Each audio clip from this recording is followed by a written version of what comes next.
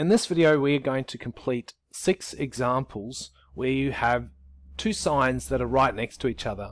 So we'll quickly revise the two different situations we face. Sometimes we have a plus and a minus sign next to each other and when that occurs we just change it into a single minus sign and sometimes you have two minus signs next to each other commonly known as a double negative and this becomes a plus sign. So let's look at question A. We have a plus and a minus sign, and we are told to change that to a single minus sign. So this one is just 5 minus 3, which equals 2. Moving on to question B, we've got our double negative. So two negatives make a positive. That's really 4 plus 6, so that's, this one is 10. Now moving on to question C, and we have to be really careful because this really only happens when the two signs are next to each other. So it's only going to happen to the plus and minus in the middle. A plus and minus make a single minus. So we're going to have negative 2 minus 7. And we'll do this one on the number line for people who need a bit of revision.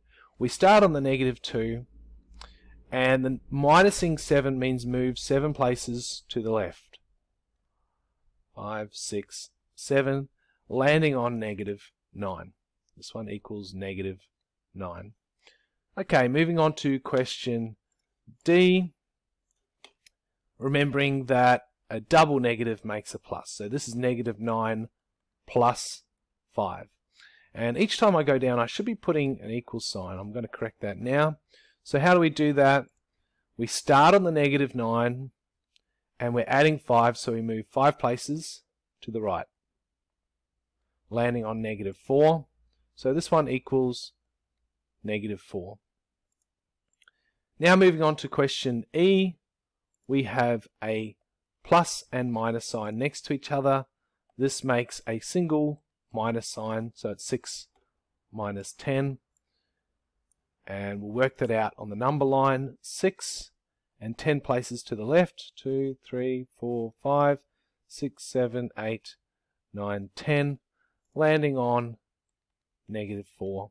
And finally question F, which has two negative signs next to each other, which makes a plus sign. We have negative 8 plus 11. I'm not going to do this one on the number line because it just takes a bit of time to jump 11 steps. But the solution to this one will be 3.